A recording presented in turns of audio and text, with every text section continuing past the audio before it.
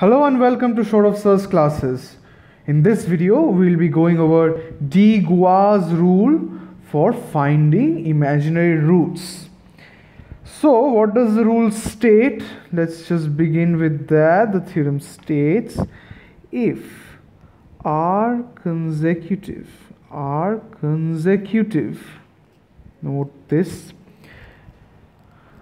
terms are absent are absent in fx equal to 0 1 postulate number 1 there are at least are imaginary roots where r is even. And number 2 number 2 and where r is odd there are are at least r plus 1 or r minus 1 imaginary roots according as according as the terms between which are terms are absent has like or unlike signs. Let's look at an application.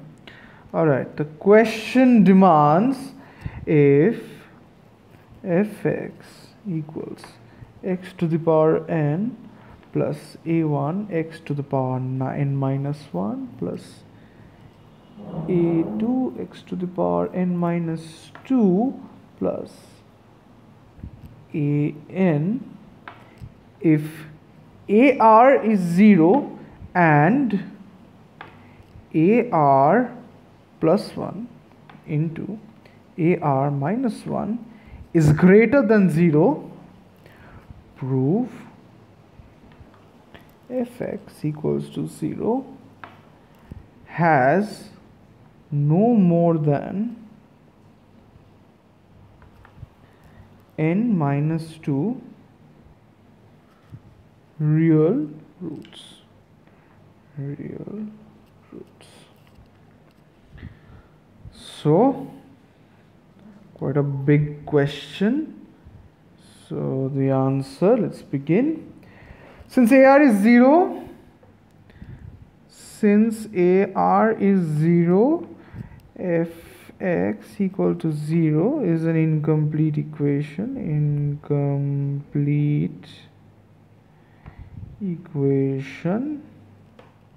The coefficients of the terms preceding and succeeding the coefficient the coefficient of the terms. Preceding. Or succeeding. The vanishing term. The vanishing. Let's just push this up. Term. R ar minus 1 and ar plus 1 to satisfy the condition now we have the condition ar plus 1 into ar minus 1 is greater than 0 yes hold on.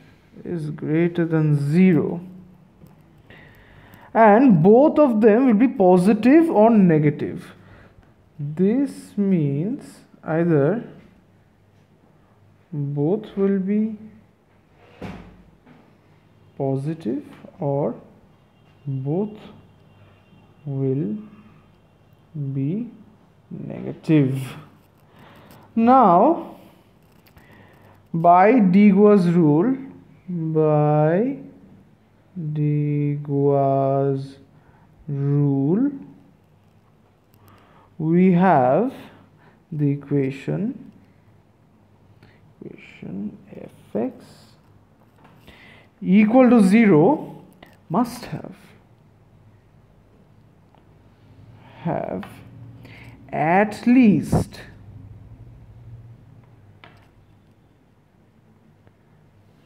two imaginary roots since we have one root and because one missing term equal to one imaginary root and this cannot exist independently so this must be 2 in number and hence we arrive at the result. Thanks for watching.